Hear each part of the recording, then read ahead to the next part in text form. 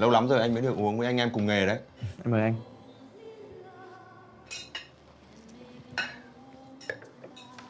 Tuy bây giờ anh không còn làm trên lĩnh vực thể dục thể thao nữa Nhưng biết đâu sau này anh em mình có thể kết hợp với nhau ở lĩnh vực khác.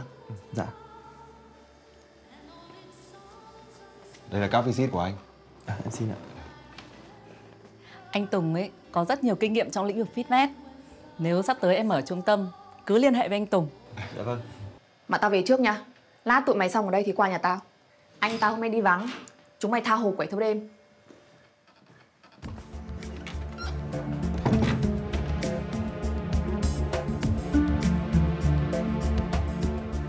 Cảm ơn chị đã giới thiệu anh Tùng cho em.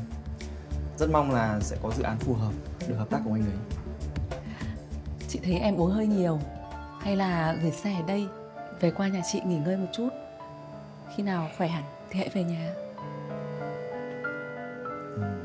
Em tự về được chị ạ Mà chị Hoài này Em nghĩ mối quan hệ của chúng ta ấy Chỉ nên dừng lại bạn bè thôi Thôi chị về trước đi Em vào toilet một chút Ừ, tùy em. Chị về trước.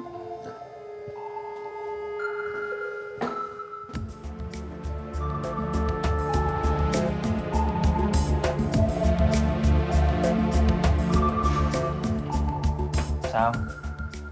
Quay đủ chưa?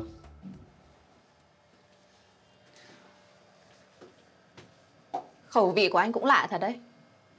Cỏ già như thế kia mà cũng ngậm được. Nể ghê.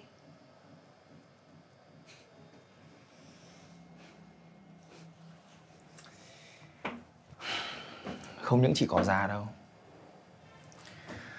Mà cỏ non như cô ấy. Tôi cũng muốn ăn đấy. Anh Anh đúng là cái đồ trai bao chơi chẽn. Chơi chẽn á? Có muốn thử sự chơi chẽn của tôi không? Anh bị điên à? Bỏ tôi ra! Bỏ ra! Định đánh tôi tiếp á? Đánh đi. Hôm nay tôi mà không đánh anh chết á Tôi sẽ làm con anh. Làm con tôi á? Hóa ra là cô muốn về ở với tôi Để làm sugar baby Phải lòng tôi lâu chưa?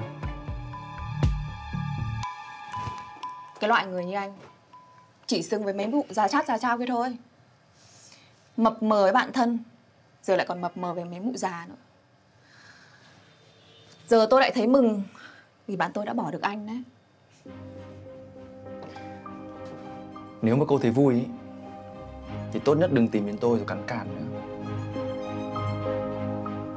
Có thể là cô không thấy mệt nhưng mà tôi chán nhìn mặt cô lắm rồi.